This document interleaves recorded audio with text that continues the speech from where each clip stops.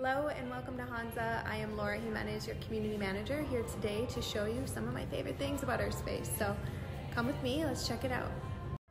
All right, so first and foremost, one of my favorite things is our location. We are located in downtown Buffalo, right at the corner of Ellicott and Tupper. As you can see, we are at street level with ample parking and one single point of entry.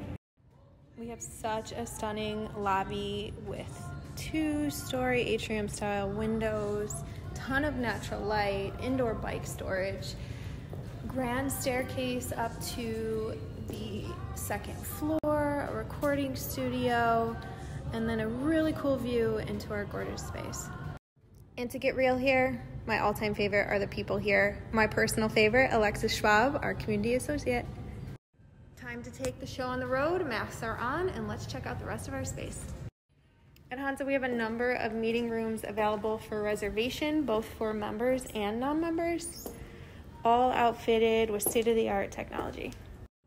Members also get the option to have their business address here with their dedicated mailroom. And now we move into the heart of Hansa, which is truly my personal favorite. Here is where our space comes to life, and we can begin to see the different types of workspace options available to you. So I quickly popped upstairs because I do want to give you kind of a unique view and perspective from up top. But before I get into showing you more of the space, I do want to say my utmost favorite thing is the flexibility that we are able to offer you. All of our terms are month to month, truly giving you the ability to grow however you need to and adjust your space needs. And then the number of options that we do have available is super unique. Everything from unreserved seating, dedicated desk, private offices from one to seven person teams.